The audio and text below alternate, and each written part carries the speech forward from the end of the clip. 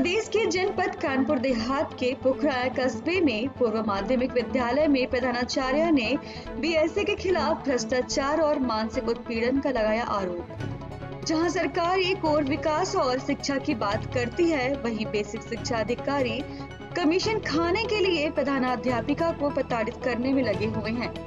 प्रधानाध्यापक लता अग्निहोत्री ने बताया कि बीएससी ने अपने चहेते ठेकेदार द्वारा विद्यालय में टूटा उखड़ा हुआ फर्नीचर भेज दिया। बीएसए फर्नीचर का भुगतान चेक से करने का दबाव बना रहे थे। जिस पर भुगतान करने से मना किया तो बीएसए द्वारा वेतन वृद्धि रोक दी गई। बीएसए की प्रताड़ना के ही चलते प्रधानाध्यापक लता अग्निहोत्री ने अपने आप को स्कूल के कमरे में बंद कर लिया। जिसकी सूचना के बाद एसडीएम राजीव राज और चौकी इंचार्ज अतुल गौतम मौके पर पहुँचे और समझा बुझा कर दरवाज़ा खुलवाया और बाहर आते ही वे बेहोश हो गई। इसके बाद उनको एंबुलेंस से इलाज के लिए सीएचसी ले जाया गया। बता दें, इस प्रकरण की वह जिलाधिकारी व शिक्षा सचिव शासन से शिकायत भी कर चुकी हैं, जिसके बावजूद भी किसी अधिकारी ने संज्ञान में नहीं लिया। वहीं मामले की जाँच करने खंड शिक्षा अधिकारी उदय कटियार स्कूल पहुँचे, जहाँ प्रधानाध्यापक मौजूद मिली। खंड शिक्षा अधिकारी ने प्रधानाध्यापिका से बात कर विद्यालय के फर्नीचर और वायरिंग को देखा।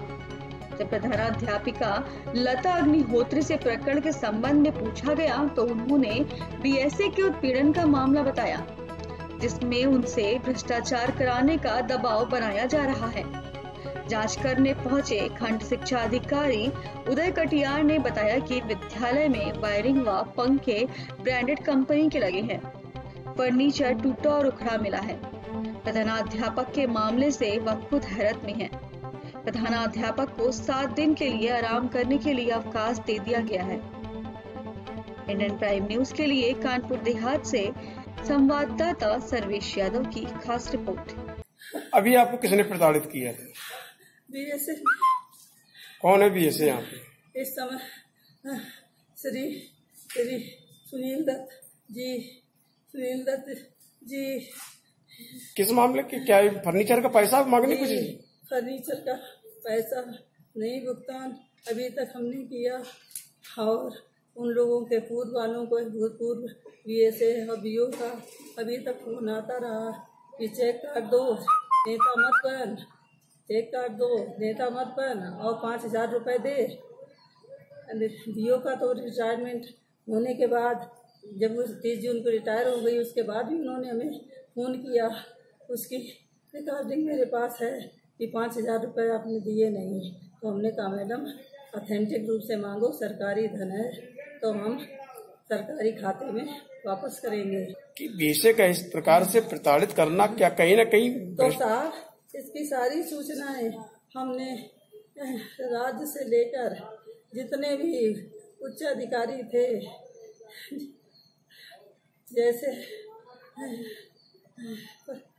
शिक्षा निदेशक बेसिक जिलाधिकारी महोदय, कानपुर देहात इन सबको भेजा कि शायद ये लोग हमारी न्यायिक जाँच करके कुछ मदद करेंगे।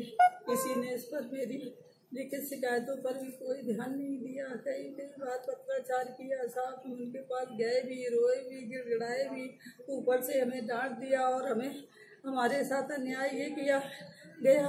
भुगतान न करने का क्योंकि सी और डी उस समिति के सदस्य थे। एक, जो एक लाख ग्यारह हज़ार पाँच सौ का भुगतान हमने नहीं किया था।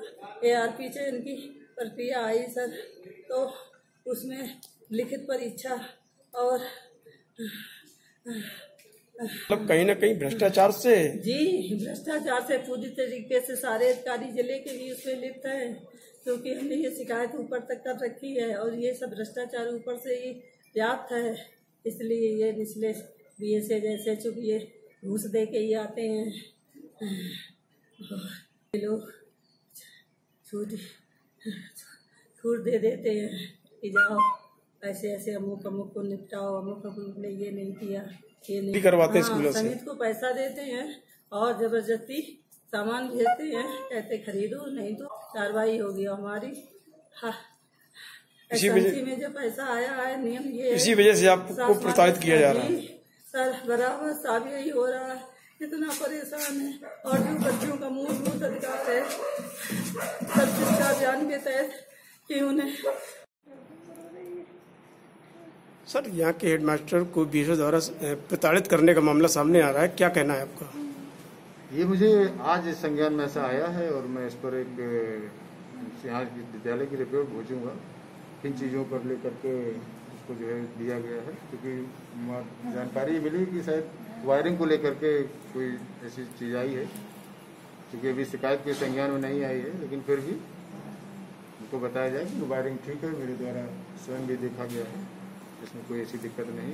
वायरिंग जो भी मानक में है वो पूरी कराई गई है। कल हेडमास्टर ने कल आत्महत्या करने का प्रयास भी किया था। नहीं अब हम उसको इस तरह नहीं कह सकते कि लेकिन कुछ उनकी तबीयत जो है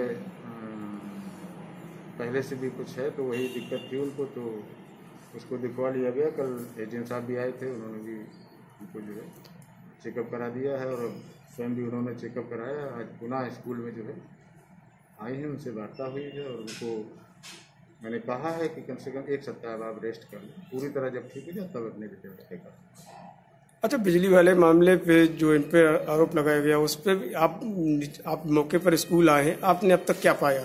नहीं नहीं वायरिंग है पूरी ठीक है क्योंकि जितना इक्कीस हज़ार रुपया विद्यालय को आता है जैसे पाँच पंखे लगे हैं सब ठीक चल रहे हैं सारी चीज़ें।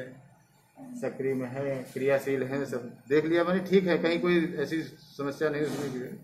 तो क्या आप मानते हैं कि जो उच्च अधिकारी हैं उनकी ये नहीं नहीं अब क्या ये वजह के की शिकायत की गई है कि आप किस स्तर पर है तो उसको अगर हमसे आख्या मांगेंगे तो हम आख्या उसको दे। देंगे उनको जो है और चीज़ें जो है ठीक हो जाएँगी परेशानी की ज़रूरत नहीं